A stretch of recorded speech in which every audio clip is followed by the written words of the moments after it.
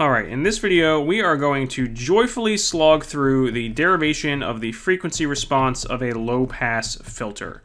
I am going to be mentioning a bunch of things covered in the last few videos in this playlist, like impedance and frequency response, so if you hear a term and you don't know what it means, you're probably going to need to go back a couple videos, so I don't want to have to reiterate every single concept here. Here's the basics. We have a resistor, a capacitor, we are sending a sinusoidal input voltage into this system, reference to ground, and not bothering to draw the grounds everywhere.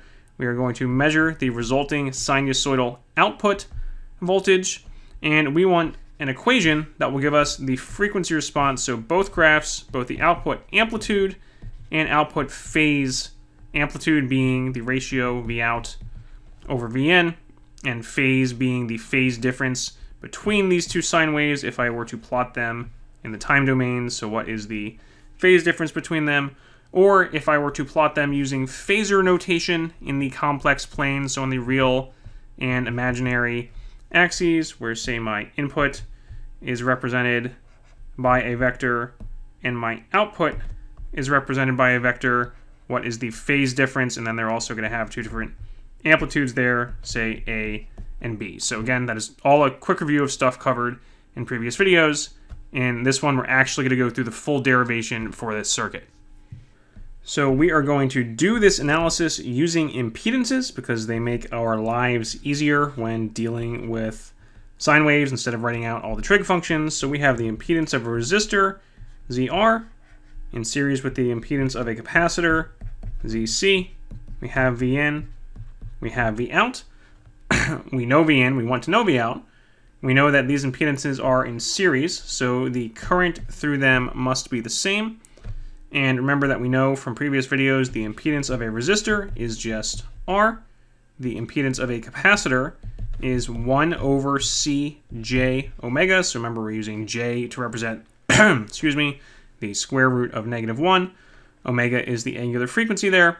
So this is a complex number, which again ties back into the whole complex plane representation, and that we have impedance in general just defined as the ratio of voltage to current for a specific part, which for a resistor happens to be just the resistance, but for a capacitor is frequency dependent.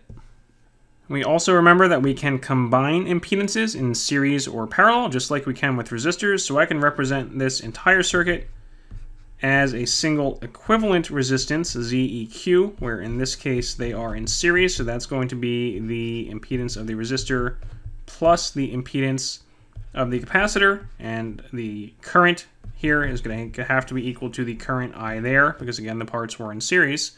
So I'm going to write out my equivalent impedance, ZEQ, is just R plus 1 over C j omega, and here I also have z equals v over i, so that is going to equal vn over i.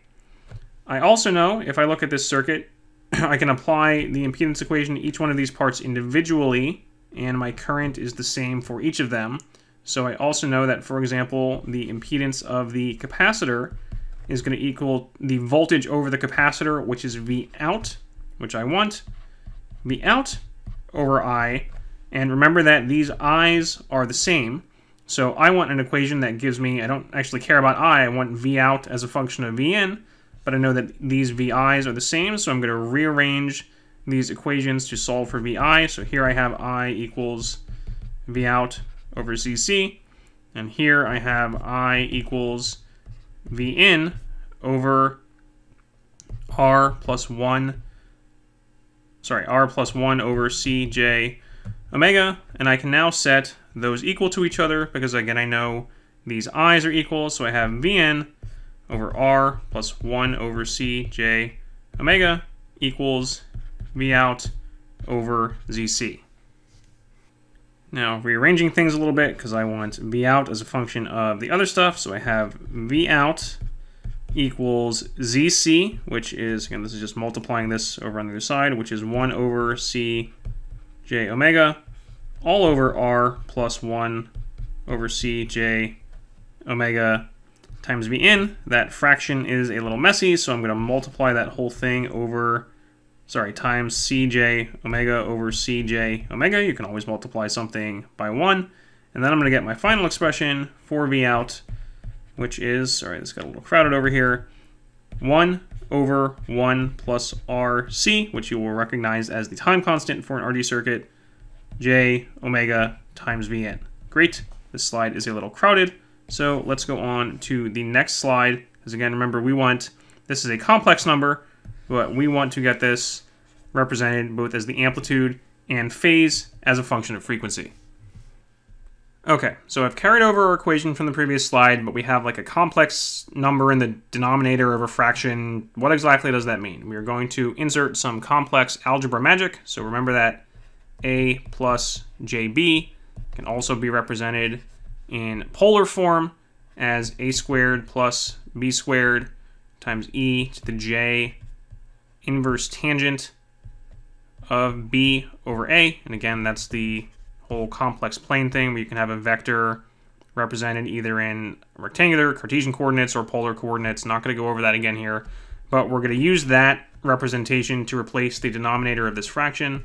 So this all becomes this big long thing, which is the square root of 1 plus RC omega squared times e to the j inverse tangent, pardon my handwriting, of RC omega times Vn.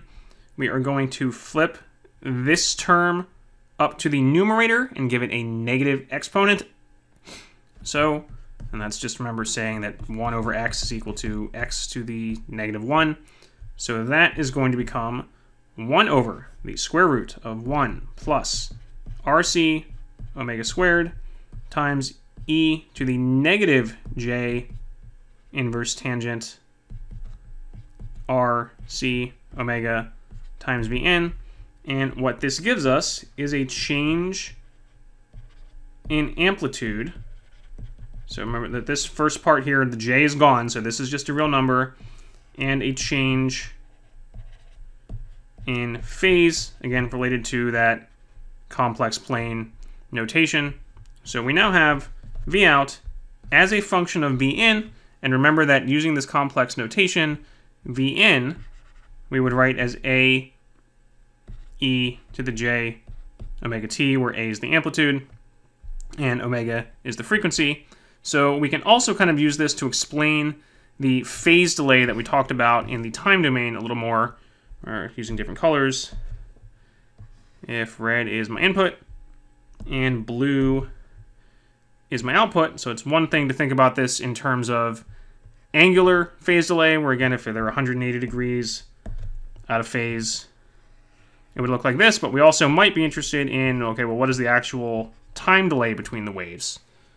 And to do that, we're going to insert more complex algebra that you're just going to take my word for if you don't remember it. So rule in complex algebra, if we have AE to the J theta times BE to the J phi, that is equal to a b e to the j theta plus phi.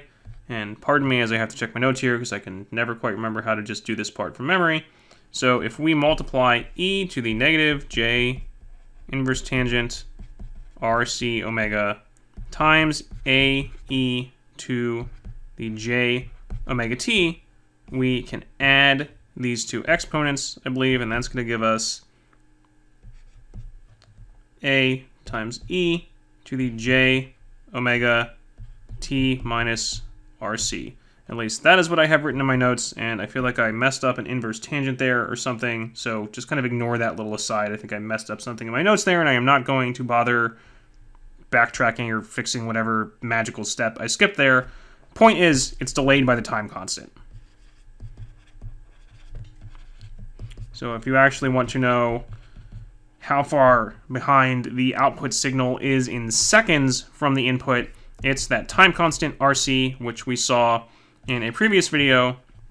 As for the step response of this circuit, how long it takes to get to, I believe, 63.7% is the magic number of the final steady state value. That is one time constant tau.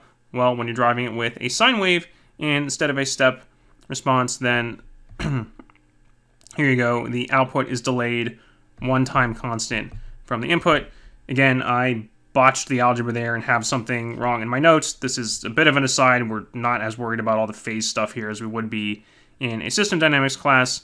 But if you want to find the time domain representation here, again, output is one time constant behind the input.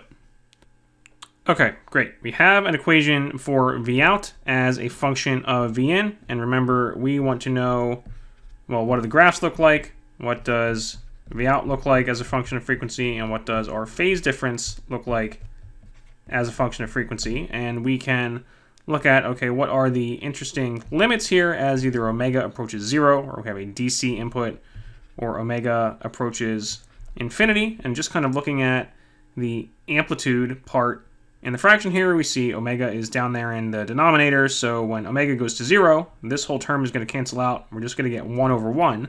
So when frequency is 0, then our output is just going to be equal to our input, and as omega gets bigger and bigger, the denominator is going to go to infinity, and this fraction is going to go to 0. So usually these graphs will be plotted on a logarithmic scale, so you have 1, 10, 100, 1,000, and so on. And the plot for this first order circuit is going to look something like that, where you kind of have a little notch where things are pretty flat for a while and then they start to dip off.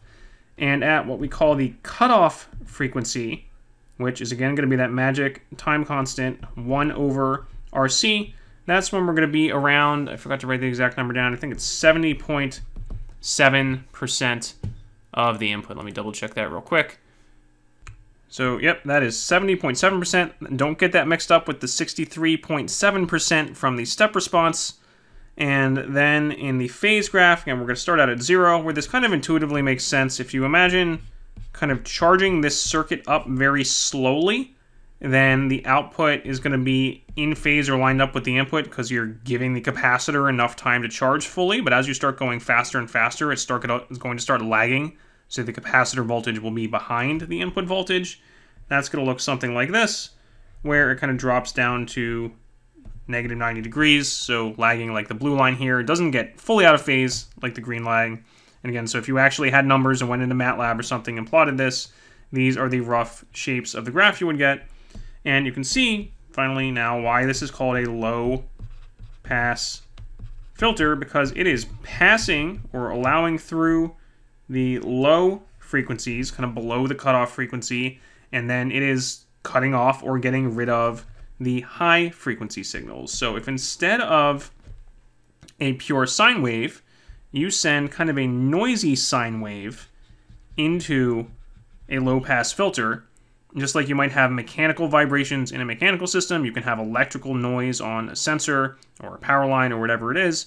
You send that noisy signal as the input voltage into a low pass filter, it is kind of going to clean up the signal and get rid of that higher frequency noise and give you a nice clean low frequency component of the signal out with the caveat that if your cutoff frequency is too low, then you're also going to start attenuating the part of the signal that you care about. So if your signal that you care about is at a higher frequency than your cutoff frequency, then you're also going to reduce the amplitude of that signal. So a couple different notes on kind of alternative notations here. You may see negative 3 dB as a common way to express the amplitude at this cutoff frequency. So there, here we have V out as a function of V in. Sometimes it is common to bring V in over, kind of divide both sides, and then express this as, say, depending on the textbook you're using, they might use the letter H to represent the frequency response in the complex form, where that is the amplitude, of j omega times e to the j phase of j omega. So again, depending on where you look, over here is amplitude and here is phase. You might also see this expressed as gain in oops, decibel form, so something like 20 log V out over V in, depending on the industry or application or something, it might be log base 10. So I'm not going to get too worried about decibels here because, again, in audio, they might have a specific convention or something. But again, if you see that negative 3 dB number for, oh, the signal is attenuated by 3 dB, that usually means they're using decibels and kind of the absolute voltages. In this course, we're not too worried about it, but as you get more into kind of pure electrical engineering and especially audio, um, decibels get thrown around a lot. But again, we're not too worried about it here. Basic concept is what you should remember. Low pass filter means you, in the frequency domain, graph looks like this. You are passing the low frequency signals and attenuating the high frequency signals. And in the time domain, that means if you have kind of a sine wave with multiple frequency components and you feed it into one of these low pass filters, assuming you have chosen your resistor and capacitor values to give you the correct cutoff frequency, you're going to filter out the high frequency components and keep the low frequency components. So in the next video, we're going to kind of more quickly go through the derivation to see what happens if you switch the capacitor and resistor around to make a high pass filter.